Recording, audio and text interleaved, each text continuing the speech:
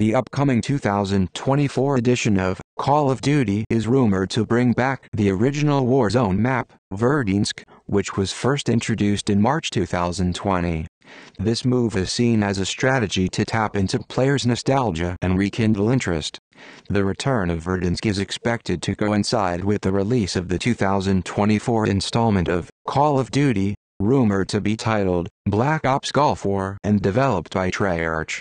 Set during the Gulf War, the game aims to combine historical context with the fast-paced gameplay characteristic of the franchise. Activision, the game's publisher, is reportedly planning to reintroduce other popular maps like Rebirth Island and Fortune's Keep in 2024. The strategy reflects an understanding of what players value and could lead to increased player engagement and community excitement.